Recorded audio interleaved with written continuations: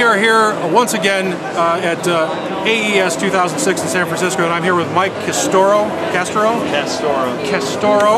I had that right before, but I have it right now. He's the president of Wunder Audio, and uh, uh Mike is rolling out a brand new console uh, today.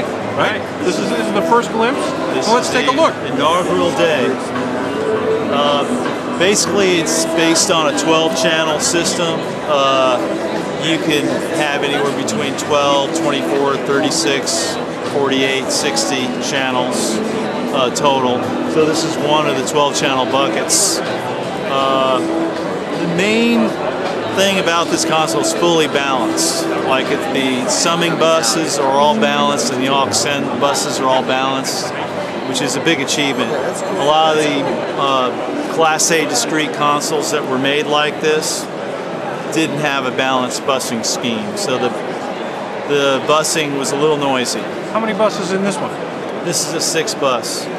We have uh, three different stereo pairs of buses that are selectable on any combination on any of the modules. Uh, the main left-right buses are Wunder Audio sound per se, and uh, this next stereo bus called 1-2, that's a 1272 style. Oh, okay. And then three and four would be like a discrete op amp, kind of like API It's interesting. Stuff. So you're introducing coloration in the buses as a design point. Right. So you could choose any one of those stereo buses to be your main master bus, or you could use any one of them to do subgrouping with, or any combinations that you could think of. Interesting. So, interesting. Uh, and uh, the, uh, the let's talk about the EQ stage a little bit. Uh, these are uh, uh, combination pots, is that correct? Yeah, um, it's basically what you call a Wayne Bridge EQ. Uh, this EQ was first designed in 1971 for uh, Zeppelin. You know, uh, they had a custom board built. It was called the Allotrope, and I ended up buying all those. There was only 24 modules ever made, and uh, for one board, and I ended up getting the modules. The board got destroyed, but uh, Peter Grant break it up? you throw it out a window? I think it fell down some stairs, actually. and uh, it, the story goes, this is like five or six years ago, I love those modules so much. I wanted to put them in my Neve. I'd like a big Neve 80 series, like a 48 channel 80 series. And they wouldn't fit, they're a little too wide. So we re-engineered the module from the ground up, like reverse engineered it to fit into the 1073 style enclosure, which is basically, you know, the, the rear connector would be your Amphenol oh, wow. 18 pin connector, which is compatible with the 1073. It ran on the same 24 volt rail, so that was possible to do. Uh, but that's where the similarity stops to the 1073, just the size and the rear connector. They're, like I said, the Neve was a Wayne Bridge EQ, so is this, but I find that there's more boost and cut on here, and there, like there's 20 dB of boost and cut on each of the bands. And but more importantly, the transformers are a different style transformer. The output transformer on the 1073s was kind of was a steel, where this is a mu metal, which uses a cobalt mixed in with the nickel and the iron. It has a very smooth sound and very little phase uh, discrepancy. Like some of the, like up at 20K, the old 1073 kind of phase shifted about 130 degrees, where this one phase shifts about 30 degrees. Much less phase problem. So you get a really wide open high end, or really big bottom end with no phase shift.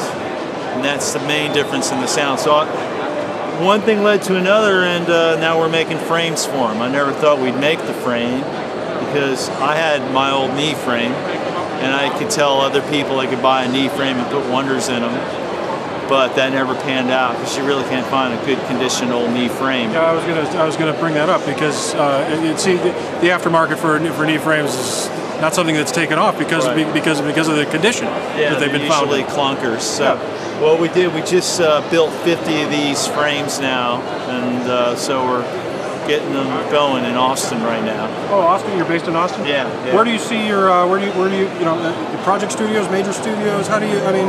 Well, this could be ordered as little as a 12 channel, or you could get it as big as 96 or whatever. It's fully balanced, so you go into a big studio.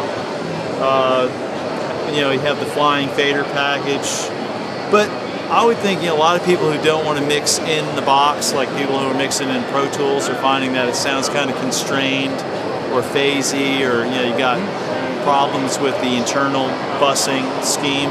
So a lot of people I find are wanting to mix on an outboard analog bus. Right. A lot of it is small rack mount buses, but some people really want to have a board other than a mouse. Sure. Like me, you know, so Right. that's the way we set this one up. Did I hear you say flying faders? I'm sorry if I missed that. Yeah, this the standard comes with a P&G conducted plastic fader, but you could upgrade it to flying faders.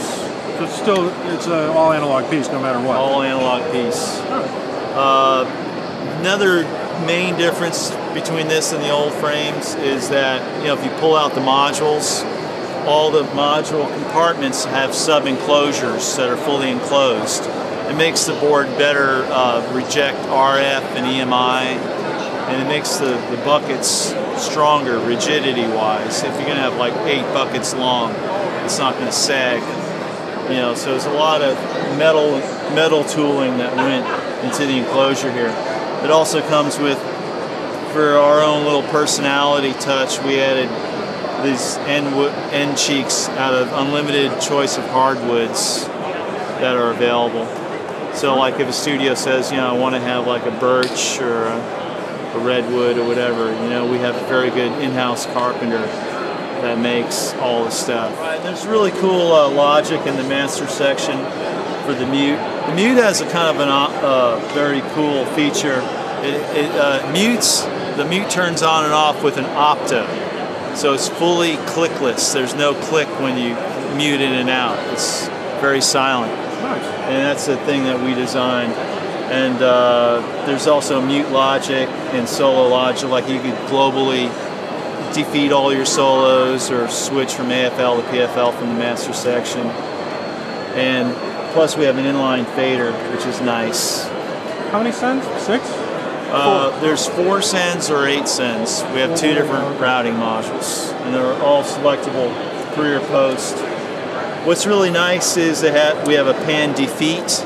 So if you don't want to go through the panning resistor, which is on every console, if you're using pan, you could just uh, bypass that. A lot of stuff you don't need to pan, like your kick, snare, vocal space. So and stuff that you want a hard left and right pan, you could defeat that too, just by pressing the left or the right bus. Got it. So you wouldn't have to activate pan unless you wanted something kind of quasi center, you know, kind of pan somewhere in the middle. Do you have a website so people can uh, check out more information about this board? Yeah, it's just wunderaudio.com. W U N D E R. Yeah, W like the candy bar. So, Terrific. Hey, uh, Mike, great pleasure. hey, nice, nice coming by, man. Nice to meet you.